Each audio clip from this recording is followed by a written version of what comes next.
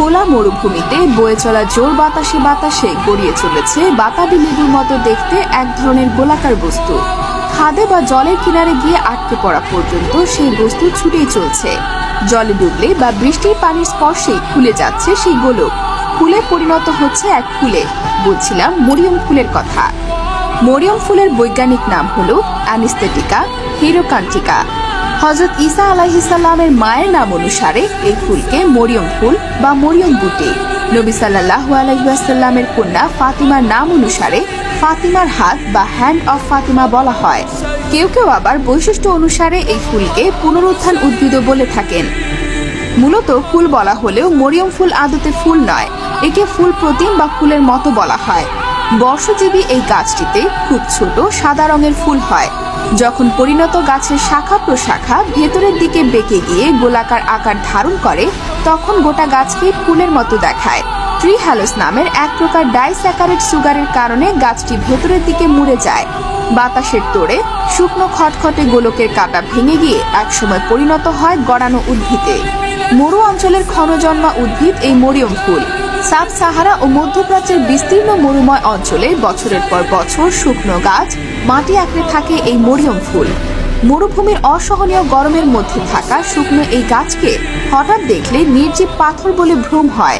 কখনো বৃষ্টির পরশ পেলে বা অন্য কোনো ভাবে জলে ডুবলে মরিয়ম ফুল যেন জীবন ফিরে পায় এবং এর বংশবিস্তার ঘটে।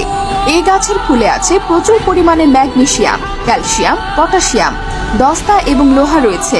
বিশেষত ক্যালসিয়াম এবং ম্যাগনেসিয়াম একসঙ্গে পেশি সংকোচন নিয়ন্ত্রণ করে। এই ফুলের কোনো নেতিবাচক পার্শ্ব প্রতিক্রিয়া নেই। মরিয়ম ফুল সম্পর্কে সমাজে অনেক ভ্রান্ত বিশ্বাস চালু আছে।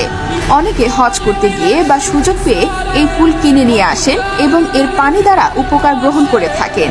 মরিয়ম ফুলের পাপড়ি ভিজে পানি পান করলে প্রসবকালীন ব্যথা লাঘব হয় এবং সহজে প্রসব হয় বলে মনে করেন অনেকেই। ঐতিহ্যবাহী ধাত্রীরা শত শত বছর ধরে প্রসবকালীন সময়ে মায়ের বেদনা লাঘব করার জন্য এই ফুলের ব্যবহার করছেন। ধর্মগ্রন্থ বাইবেলেও এর কথা বর্ণনা করা হয়েছে। এই ফুল শুকেই হজরত মারিয়াম আলাইহাল্লাম গর্ভে সন্তান লাভ করেছিলেন বলে বিশ্বাসও করেন কেউ কেউ।